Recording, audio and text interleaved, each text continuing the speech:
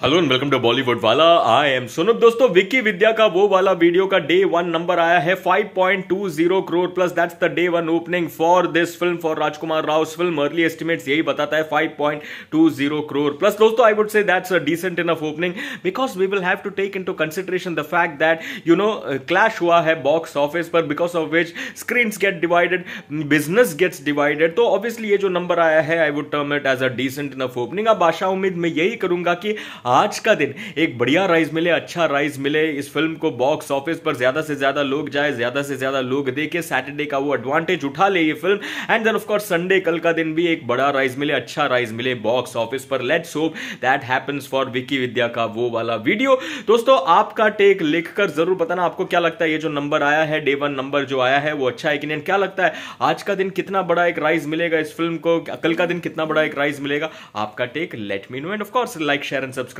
भी करना चैनल को वीडियो को एंड सुपर थैंक्स का ऑप्शन भी वो भी आप दे सकते हो साथ में इंस्टाग्राम पे भी आप मुझे फॉलो कर सकते हो। मेरा यूज़र नेम है एट बॉलीवुड वाला चलिए टाटा